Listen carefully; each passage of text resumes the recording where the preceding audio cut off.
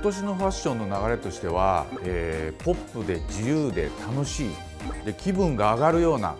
ていうようなキーワードがあります。で今回に関しては、えー、お嬢様系であったりナチュラル系であったりそういうところに落とし込んで人気のアイテムを紹介していこうと思います、えー、今年流行の、えー、スカーフ柄を取り入れた、えー、アイテムです。それとこれはあのドルマンスリーブになってまして、えこういう柔らかい素材のトップスっていうのも今年の流行の一つです。ですからこれはもうトレンドの美味しいとこ取りっていう感じですよね。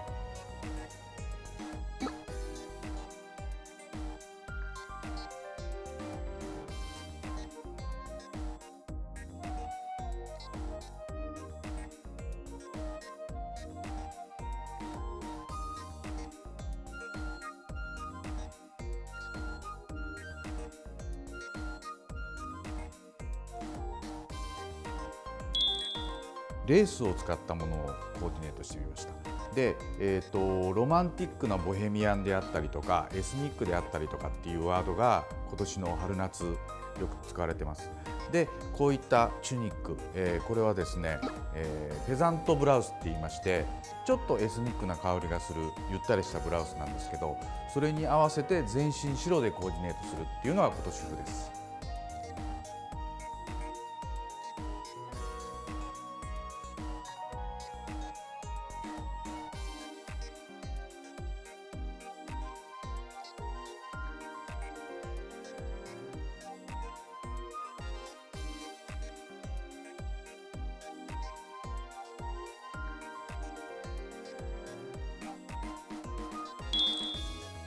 トレンドのデニムを使ったコーディネートの一例です、